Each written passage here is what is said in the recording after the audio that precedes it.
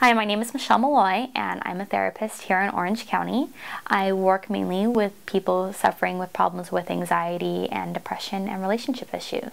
I like to work with people on, you know, expressing their emotions and working on their coping skills. What kind of things can we do to help improve your life and, you know, get you out of the house and get you feeling better again? We have a tendency to be sort of like a pot sitting on a stove, and we've got our lid on.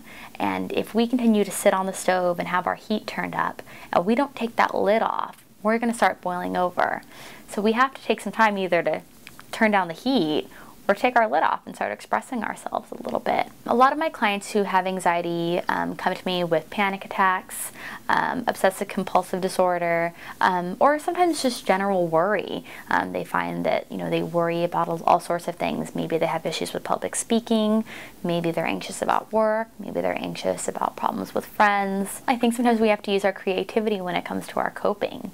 You know, people have a tendency to uh, get stuck in a certain way of living their lives. You know, um, we, you know, we start thinking about things in a very one-sided way, and we forget that maybe just like in our creative lives that there's a lot of different ways to look at things. I do work with a combination of cognitive behavioral and psychodynamic therapy, but that, that may change based on the person. Some people really want to do more cognitive behavioral therapy and they don't really want to know as much about the dynamic component. Um, so, you know, for them, we may do more cognitive behavioral work. Other people really want more dynamic work. So I, I, definitely adjust that based on their needs and their desires. Therapy is hard and therapy is work, but it can be enjoyable. Um, you know, I think it's important to enjoy your time together. You know, I laugh with my clients. We, um, you know, sometimes laugh at ourselves and, and laugh at the situation.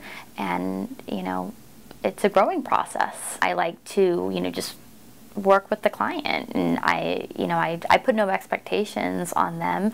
Um, you know I want to see what it is that they need help with and be there for them. I obviously encourage people to come to therapy um, earlier on. Um, the faster you come to therapy the faster you can get better